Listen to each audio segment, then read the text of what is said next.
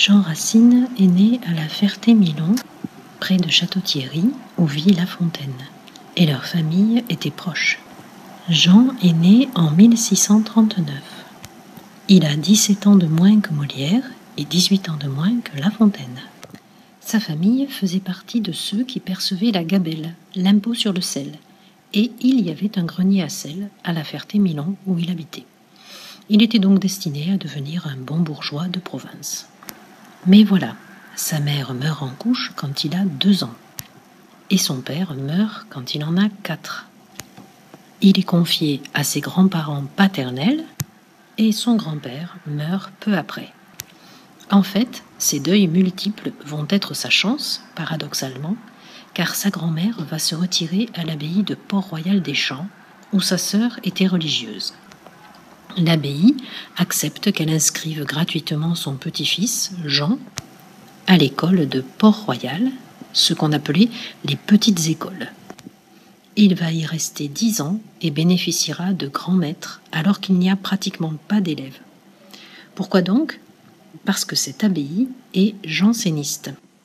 Le jansénisme, c'est une sorte de branche du catholicisme, une branche très rigoriste, qui pense que l'homme est soumis au destin que Dieu veut bien lui imposer de façon pratiquement arbitraire.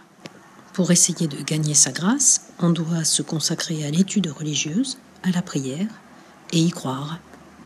C'était une façon de concevoir la religion chrétienne très proche en fait des protestants, ce qu'on appelait les réformés, et le roi de France ne voulait pas que l'on reparte dans les guerres de religion qui avaient dévasté le royaume pendant 40 ans au XVIe siècle.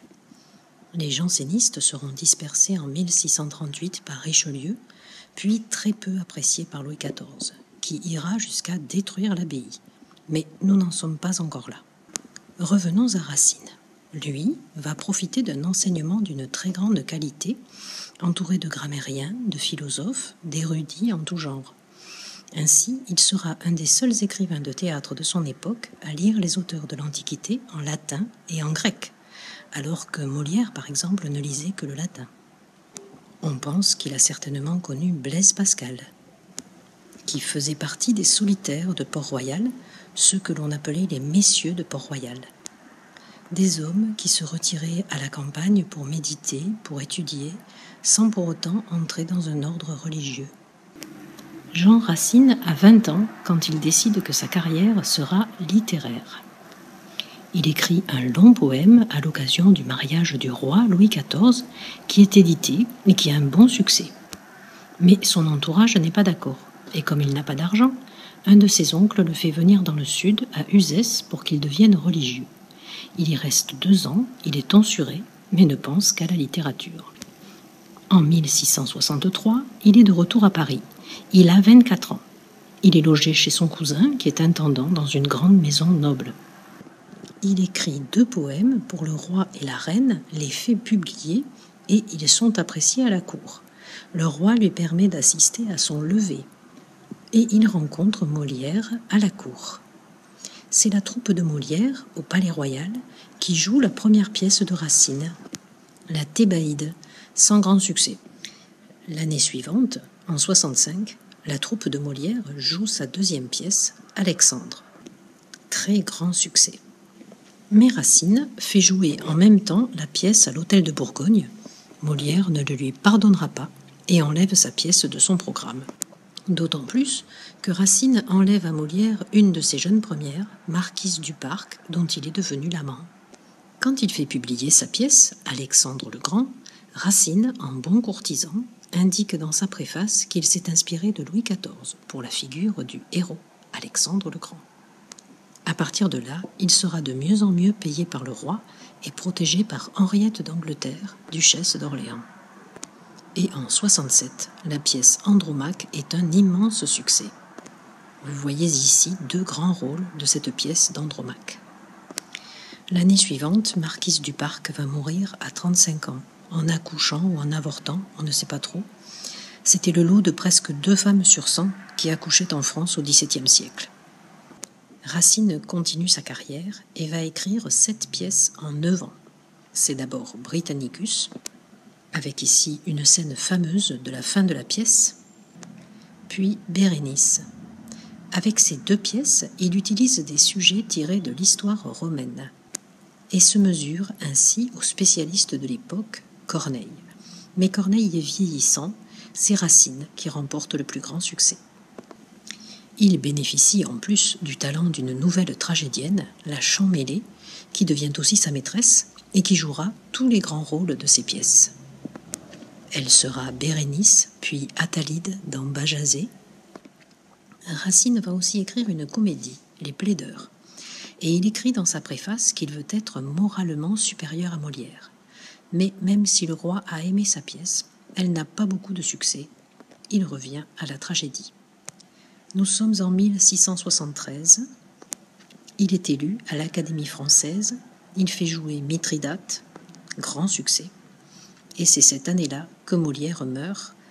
Racine est le roi du théâtre parisien. Ce qui achève d'ailleurs de le brouiller avec ses maîtres de Port-Royal. Ces derniers pensent qu'un auteur de théâtre est un empoisonneur public. L'année d'après, nouveau succès pour une pièce qu'il joue dans les jardins de Versailles, Iphigénie, où la Champmélée va triompher dans le rôle principal. Cependant, Racine est un courtisan, et le monde de la cour est plein d'intrigues et de jalousie. Quand il fait jouer sa pièce suivante, Phèdre, un très grand chef-d'œuvre, on fomente une cabale. Qu'est-ce que c'est que ça? Eh bien, par exemple, pour Phèdre, deux grands nobles de la cour, le duc de Nevers et la duchesse de Bouillon, ont acheté tous les billets de l'hôtel de Bourgogne. Les acteurs jouent la pièce de Racine devant une salle vide, tandis qu'une autre pièce intitulée Phèdre et Hippolyte est jouée dans un autre théâtre sur le même sujet, pièce d'un certain Pradon, un auteur à la mode. Le succès de Pradon, bien sûr, ne tient pas. La postérité a bien vite reconnu que la pièce de Racine était meilleure, il n'empêche que Racine est un peu écœuré. Le roi, lui, va trancher. Racine et son ami Boileau, qui l'a soutenu, sont nommés historiographes du roi, c'est-à-dire chargés d'écrire l'histoire du règne. Notre poète se range tout à fait, lui qui avait été un peu libertin, il se marie avec une riche héritière qui lui donnera sept enfants. Racine n'écrira plus pour le théâtre, sauf à deux exceptions. C'est Madame de Maintenon qui va lui demander. Cette dame a épousé le roi Louis XIV une fois que celui-ci est devenu veuf. On dit de cette épouse qu'elle est morganatique parce qu'elle n'est pas vraiment reine. Cette dame avait éduqué les enfants du roi. Et elle va fonder une école pour les jeunes filles pauvres de la noblesse. Il y en avait beaucoup en province, tous les nobles n'étaient pas riches, loin de là. Cette école, c'est Saint-Cyr. On appelait les pensionnaires les demoiselles de Saint-Cyr. Elles bénéficiaient d'une éducation morale, religieuse, mais aussi littéraire. On demande à Racine d'écrire pour elle une pièce, ce sera Esther. Pièce de théâtre avec des chœurs chantés par les élèves sur un sujet tiré de la Bible. Les demoiselles de Saint-Cyr vont représenter Esther d'après les conseils de Racine. Grand succès.